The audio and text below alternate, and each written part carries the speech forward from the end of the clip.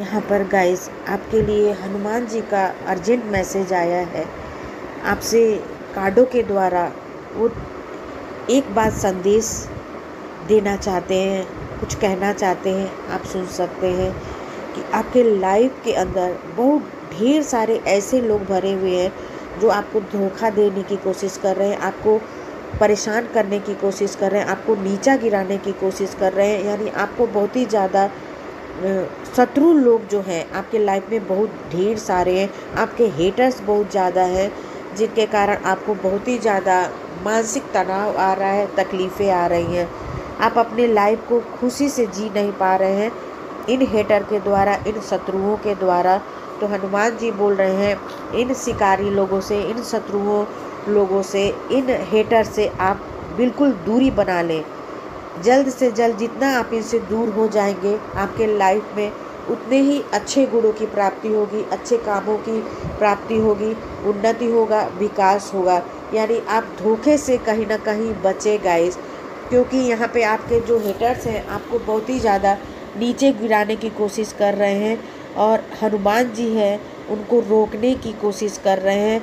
तो आप खुद ही समझ जाइए कि आपके लाइफ में कितने शत्रु हैं गाइस मेल भी हो सकते हैं फीमेल भी हो सकते हैं, जो आपको बहुत ही ज़्यादा परेशान करने की कोशिश कर रहे हैं और हनुमान जी आपको बहुत ज़्यादा बचाने की कोशिश कर रहे हैं। तो यहाँ पे हनुमान जी को आप थैंक यू बोल सकते हैं। और दूसरा कार्ड आया है गाइस कि किसी स्त्री या पुरुष के द्वारा आपके ऊपर कोई ना कोई तंत्र, मंत्र या टोना टोटका कराया गया है।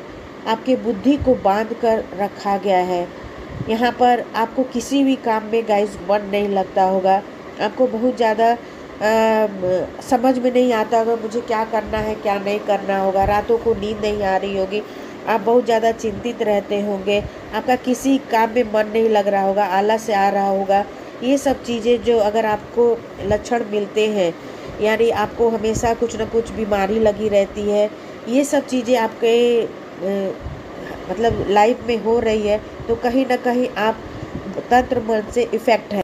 अगर ये सब आपको लक्षण दिखाई दे रहे हैं तो आपके ऊपर ज़रूर से ज़रूर बाधा की गई है, नज़र दोष रखा गया है, या फिर कोई ऐसा जादू टोना किया गया है जिससे कि आप हेल्थ भी इशू उठा रहे हैं, उन्नति, प्रगति भी आपकी कम हो रही है सक्सेस और सफलता भी कम मिल रही है गैस ऐसे लक्षण हैं तो आप समझ जाइए कि आपके ऊपर कुछ ना कुछ नज़र दोष है।